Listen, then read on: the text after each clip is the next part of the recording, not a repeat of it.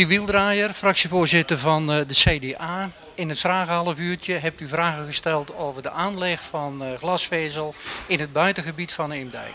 Van waar de vraag? Mag ik een heel kleine correctie maken? Ik heb het over het buitengebied gehad. Ik vind uh, Zevenhuizen, Groeneweg, vind ik net zo goed van belang. Hè. Het is niet, uh, ik, ik, woon dan toevallig zelf in Eemdijk alsof ik alleen maar voor de dieken spreid. Waarom ik dat gedaan heb is omdat ja, ook de burgers in die gebieden willen heel graag gebruik maken van al die digitale mogelijkheden die er tegenwoordig zijn en worden nu niet meegenomen. Nou, wat ik eens van de wethouder wilde weten is in, in, in de gesprekken die er geweest zijn met de, met de aanbieder. Heeft u er toen aan gedacht?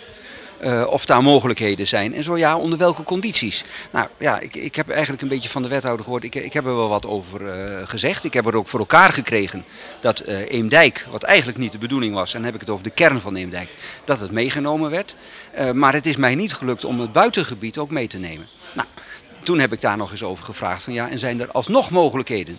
En toen bood ze aan van nou, ik, ik wil nog eens met uh, de aanbieder, ik ga expres de naam steeds niet noemen, uh, met de aanbieder ga ik om tafel om te kijken of we toch nog wat kunnen regelen. Eventueel met een bank om te kijken of er leningen mogelijk zijn voor de burgers.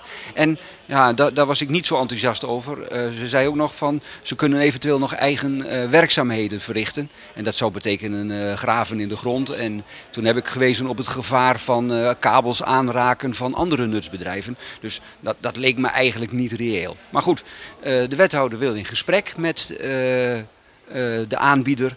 En ja, ik weet niet of dat nou direct tot geweldige resultaten leidt, maar dat is in ieder geval weer een gesprek. En waar, waar leven is, is hoop en waar een gesprek is, zijn kansen. Ze had het ook over een mogelijke pilot. Hoe, hoe, kijkt u daar tegenaan? Ja, als dat mogelijk is. Hè, kijk, waar gaat het de burgers om? Ik denk dat ze allemaal het gevoel hebben van hier liggen voor de 21ste eeuw mogelijkheden die we nu niet hebben. Nou, waar die mogelijkheden worden geboden voor een redelijk bedrag. Uh, ja, ik denk dan, uh, dan, dan, moeten we blij zijn. Uh, ik heb gehoord van, van de burgers van Overvaren dat die als die het nu zouden willen, dat ze 1500 euro moeten betalen. Nou, ik kan me goed voorstellen dat burgers zeggen dat vinden we een stevig bedrag voor deze voorziening. Nou, als dat wat minder kan worden door weet ik veel welke constructie, dan is dat meegenomen. En ik wil ook nog een keer benadrukken, en ik hoop ook dat die andere buitengebieden dan de aandacht krijgen. Even een andere vraag. Er was ook een voorstel over uh, het spreekrecht voor uh, de burger tijdens de raadsvergadering. Hoe kijkt u daar tegenaan?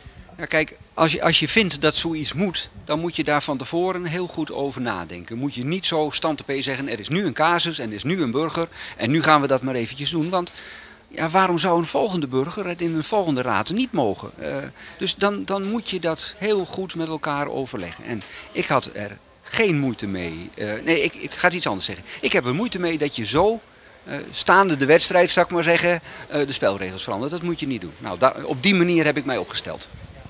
Um, het gaf nog wel wat discussie. Hè? Er zijn toch wel voor- en tegenstanders. Maar dit is volgens het reglement?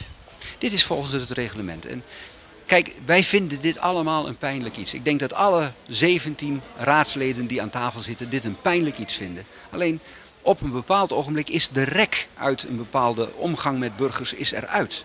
En die rek is eruit als mensen, ambtenaren van onze organisatie, onze verantwoordelijke uh, burgemeester en wethouders uh, van alles beschuldigd worden waar geen enkel bewijs tegenover staat, dan houdt het een keer op. En ik denk dat elke weldenkende burger van onze gemeente, en dat zijn er heel veel, dat, dat toch ook wel meevoelen. Hoe pijnlijk wij dit natuurlijk ook allemaal vinden, want het is niet de mooiste dag in onze, onze gemeenteraad. Gezien ook de tijdsduur die daaraan besteed wordt, bijna twee uur bezig, vindt u ook niet dat het toch heel erg lang is? Ja, het is onverantwoord. Dat ben ik helemaal met u eens. Maar zo is ook onverantwoord hoe deze burger met allerlei vragen en allerlei opmerkingen de organisatie, nou lam legt is overdreven, maar toch wel heel erg frustreert. Veel werk bezorgen, denk ik. Precies, dat bedoel ik. Ja, dus daar moet een keer een einde aan. Ik bedoel, iedereen mag vragen stellen en iedereen mag opmerkingen maken. En ik vind het zeer terecht, en dat doet onze gemeente ook, dat er goed op gereageerd wordt. Maar ja, als, als zo'n beetje een halve ambtenaar voor één burger gaat werken, dan houdt het een keer op. Maar ik vind dat niet het belangrijkste. Ik vind echt het belangrijkste de manier waarop. Je kunt de burgemeester niet beschuldigen van alles en, en dat maar uh, onbeperkt blijven doen. Dat, dan houdt het op. Dank u wel voor dit interview. Graag gedaan.